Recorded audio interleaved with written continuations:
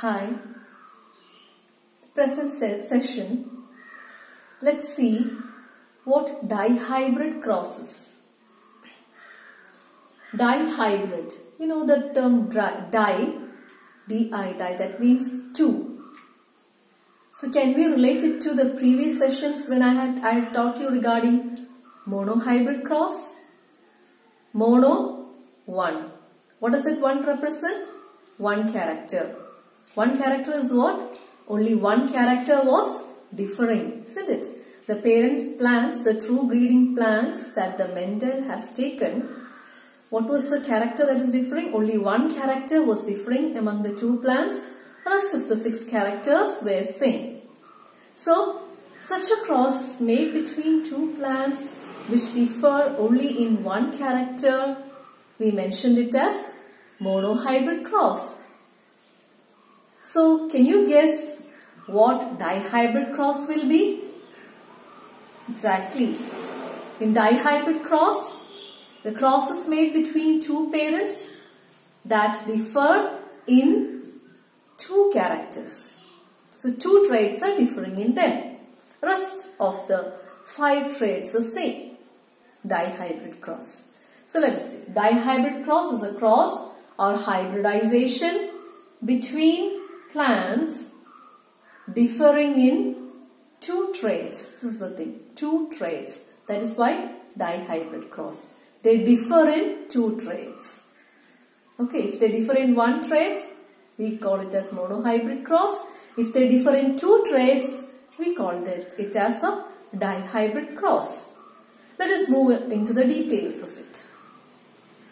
See here, first let us see what take an example of the two traits that differ.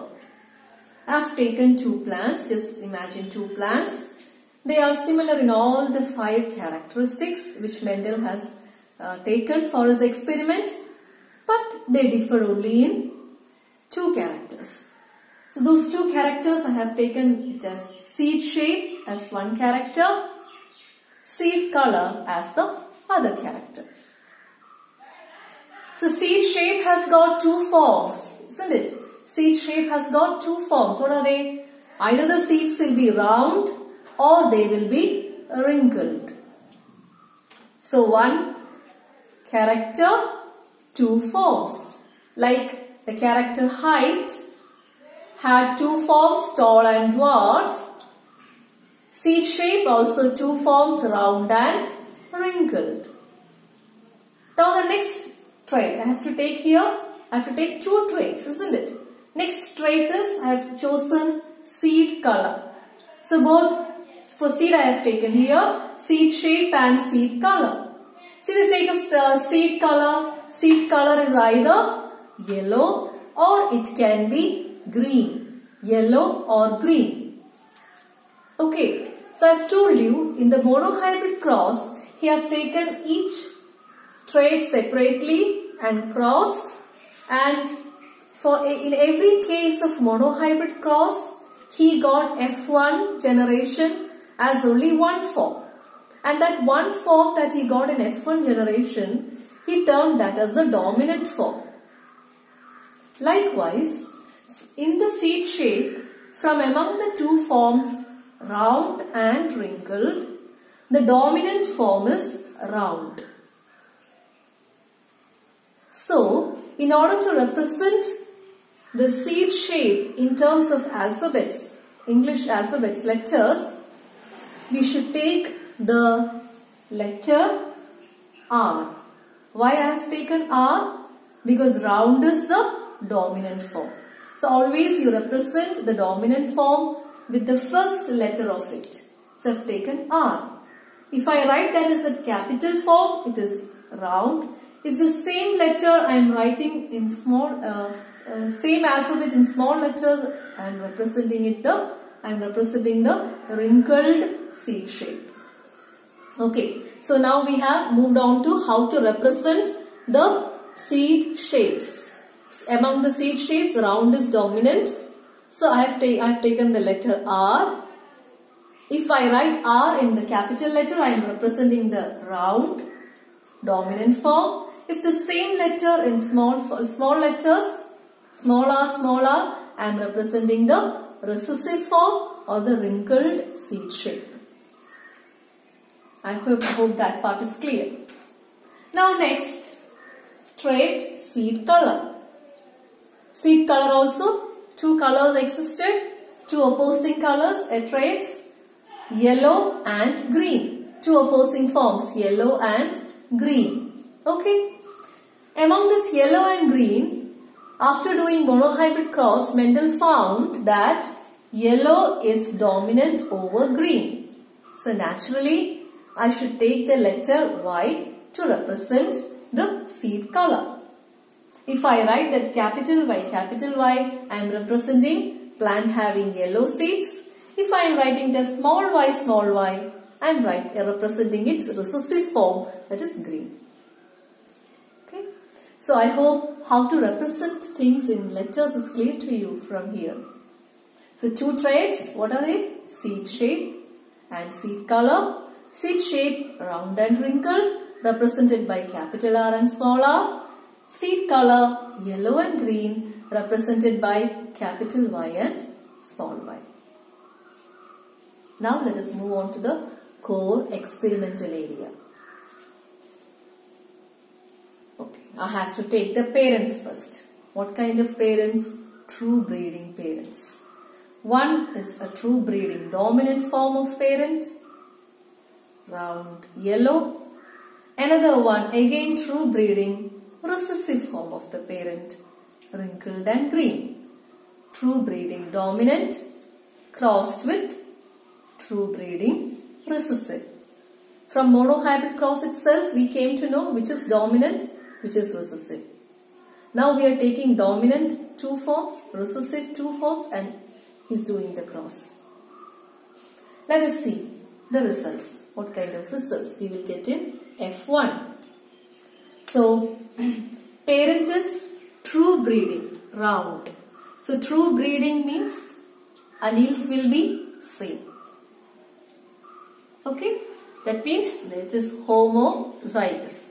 So, round, how will I represent? Round seed shape, how I am representing? Capital R, capital R. So for round, I am writing the genotype capital R, capital R. Seed shape. Now next is round yellow. For yellow, next trait. Yellow, how should I represent? Capital Y, capital Y.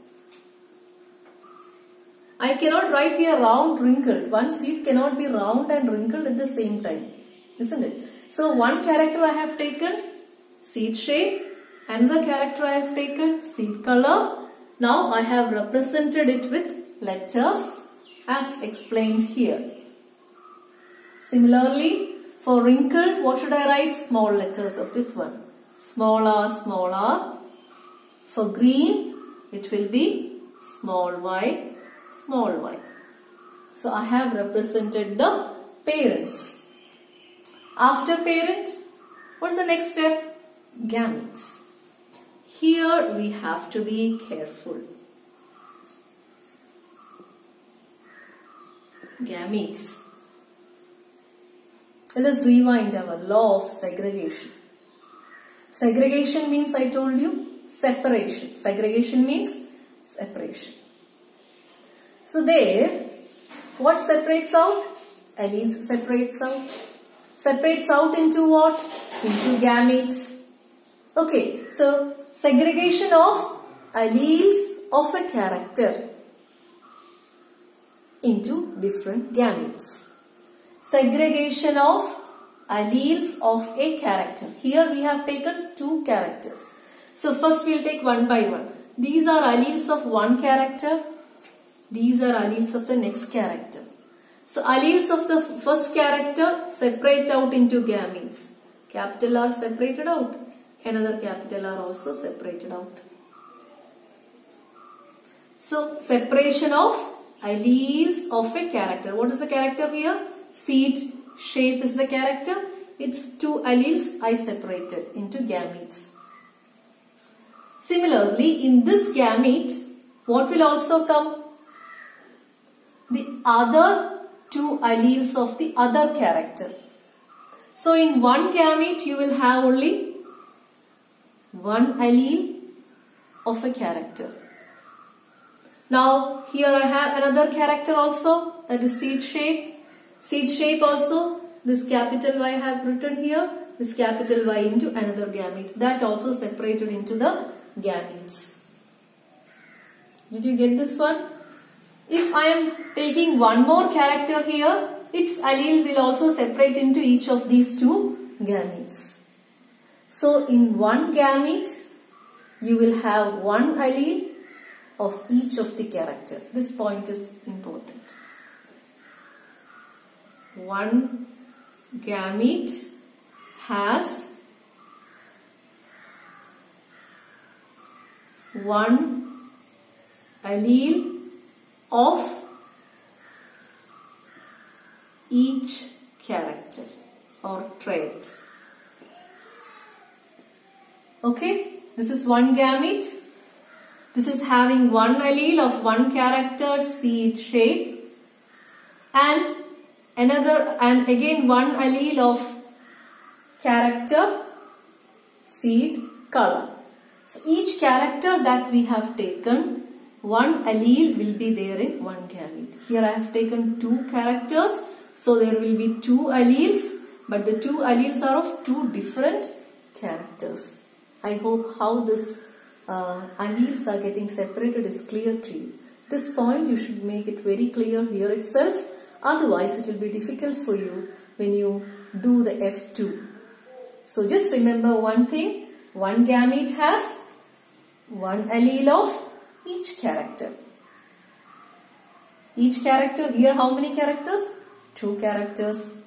So how many alleles will be there? Two alleles. But two alleles in one gamete but for each character there will be only one allele. I can't put here two capital R's together because that alleles have to be separated of a character separated. Again alleles of next character separated. Okay. Similarly here if I write small r, small r. Alleles of one character separated alleles of the next character also separated. So whatever it is, I am getting the uh, final thing as capital R, capital Y for one parent as gamete, small r, small y for another parent as gamete. Okay, since all these four gametes, the, here the two gametes are same, I am taking only one gamete into account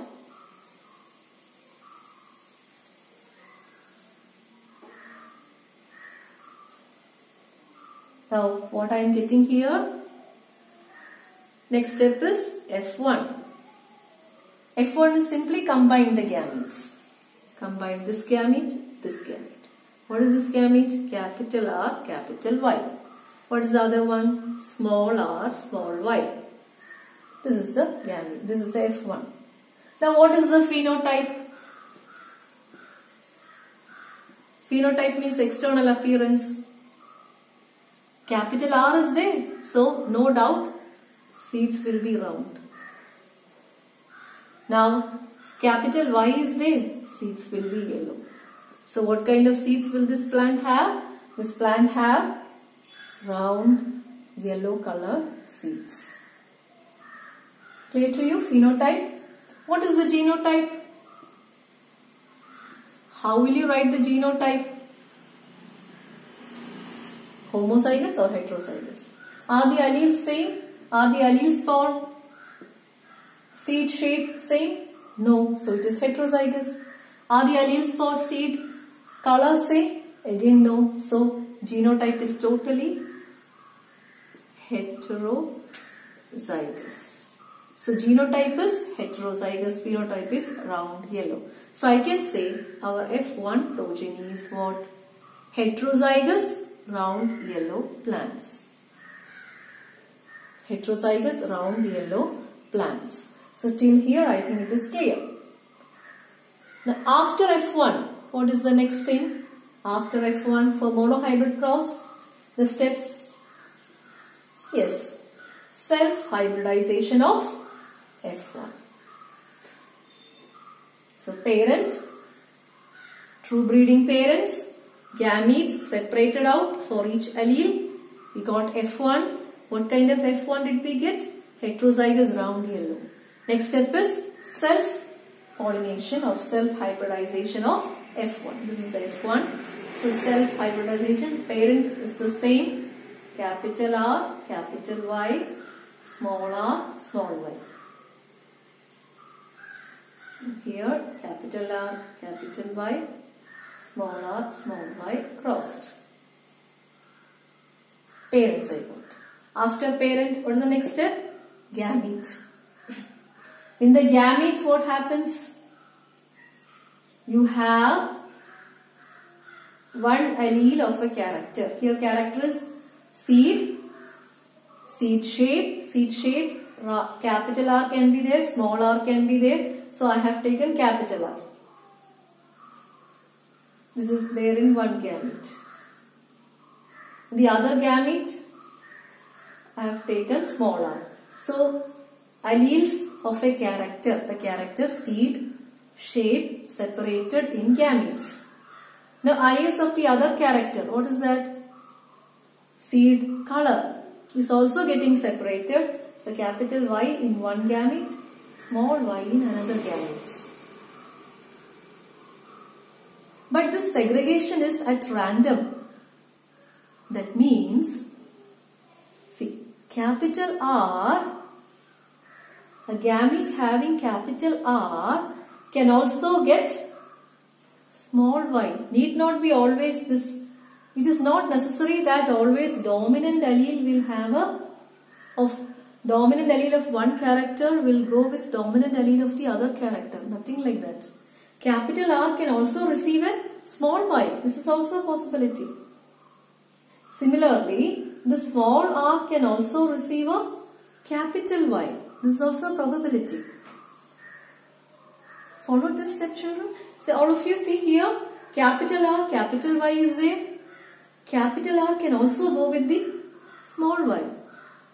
Only thing is you should have one character of, one allele of one character. You should not write capital R, capital R. This is parent plant. When you separate this, you get the gametes. Similarly, capital Y, small y. This is parent. When you separate this, you get the alleles. So here capital Y can go with this one, capital Y can go with this one also. Similarly, small y can go with this one, small y can go with this one also. Well, that is what is written over here. Okay, so capital R, capital Y, small r, small y, capital R, small y, small r, capital Y. These are the possible gametes. Possible gametes.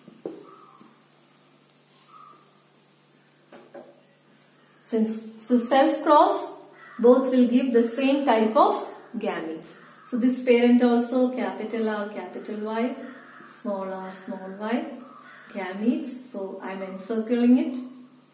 Small r, small y, small r, capital Y. You just write the combination of the alleles, you get the gametes. So four gametes for each parent. In monohybrid cross, how many gametes did we get for each parent? Two gametes for each parent because the two alleles separated. Here there are two characters, so we'll get four possible gametes. So these are the gametes. Now what is next step? Next step is combination of the gametes. This gamete, if I am putting here 1, can combine with any of these. This 2 again can combine with any of these. 3 with any of these. Fourth gamete again can combine with any of these. So it will be very difficult if I simply write lines like this and keep on drawing progeny.